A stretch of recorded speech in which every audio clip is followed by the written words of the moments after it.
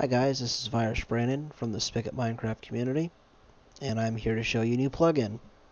It's called Storage Grids. Uh, it very much resembles my previous plugin, Bottomless Chests. The only difference is that it takes up far less space, uh, and you can scroll in several different directions in the grid.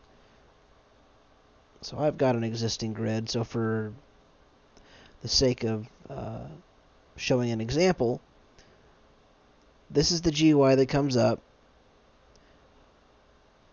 And when you hover over these various buttons in the GUI, you have directional options that you can use to scroll. The items that are highlighted in green, those are the cardinal directions that you can scroll. So right, you can scroll east, left, you can scroll west, up, you can scroll south, or down. You can scroll south and up. You can scroll north, excuse me. Um, in addition to that, you can also scroll intermediate directions like uh, like northeast, northwest, southwest, and southeast. And to guide you through the GUI, you can press this button. You can see the cursor moving diagonally, and then I can go northeast and maybe northwest a little bit. Then I can go southwest, and you know, then I can go right a little bit. Eh, maybe I want to go left, up a little bit, down a little bit, and then maybe I want to go all the way back up to the corner. You can only scroll diagonal when there is a when there's room to go up and over. So if you get up to the top, you can't move diagonally unless both coordinates work. Okay, so now I'm all the way up at the top. You can see that my items are moving diagonally off screen, so that's how that works. Um, so, when you reload the plugin,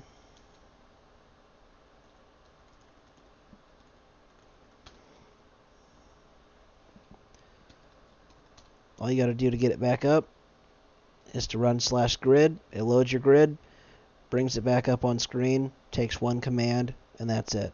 Uh, the actual plugin itself, I don't think you guys can see this, but uh, just for the sake of examples, I'm going to go into the grid storage folder, grid, and I've got my grid here, my my, my zip file. So when the um,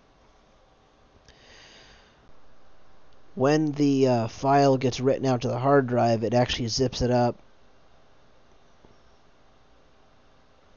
and keeps it in a compressed zip format so that it doesn't take up a lot of space. The uh, actual size of the file is very small, but if you were to unzip this, it'd be 201 kilobytes, and that's assuming you don't have a lot of files or a lot of items saved to it.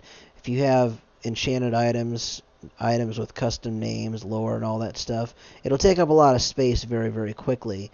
So it has been designed to auto zip and compress down all the files for the grids that are not being used. Only active grids will be taking up more space while the user is online and of course assuming that they run slash grid to load up their grid.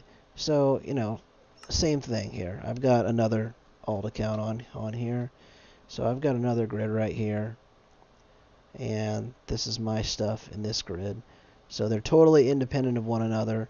And once you run grid once, your grid is loaded onto the server until the software is restarted or the server is restarted or whatever.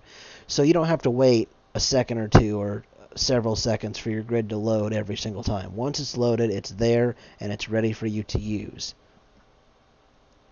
Now, as of late, I have been working a new job since April, and I don't have time to do custom development requests. So what I'm going to do is I'm going to post this software on, on Spigot for about half the price of Bottomless Chest, and that is the base version of the software. Any custom features that are requested by my users, I will be charging to add those features. The prices are as follows. For a small feature, $20. Moderate feature, $50 large feature $75 so it's kind of it's kind of salty but essentially I don't have time to do features left and right like I did with Bottomless Chest because I wrote Bottomless Chest starting back in 2015 and I had really all the time in the world aside from school and work. Uh, that's not the case anymore. So if you want a new feature, it's going to cost you and it's going to take some time to implement. So this has been a demonstration of my new storage grid software.